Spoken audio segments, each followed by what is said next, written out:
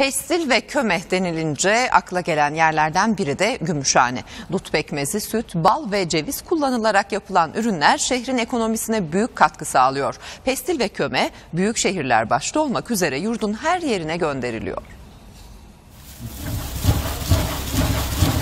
Geçmiş yıllarda evlerde geleneksel usullerle üretiliyordu. Şimdi en modern tesislerde yaklaşık bin kişiye istihdam sağlıyor.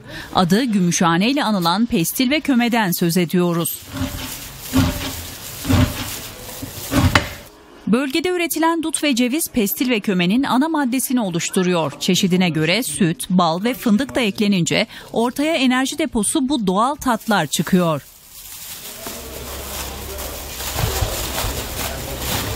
Son yıllarda pestil ve kömeye olan ilgi bir hayli arttı.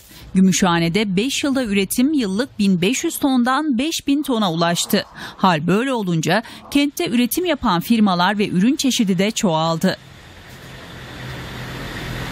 Bölgede bolca yetiştirilen dut ve cevizin değerlendirilmesiyle yapılan pestil ve köme Gümüşhane ekonomisine büyük katkı sağlıyor. Kentte faaliyet gösteren 30'a yakın firma bu doğal organik enerji deposunu Türkiye'nin dört bir tarafına gönderiyor.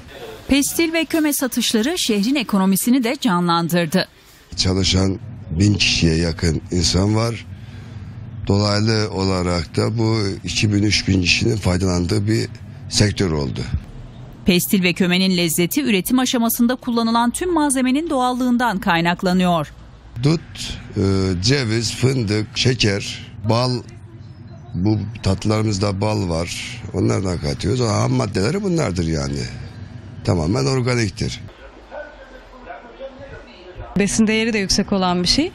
Saklama koşulları da o kadar zor değil. Haliyle herkesin evinde bulunup rahatça e, yenilebilecek bir şey yani. Gümüşhane pestil ve kömesi başta büyük şehirler olmak üzere yurdun her yerine gönderiliyor.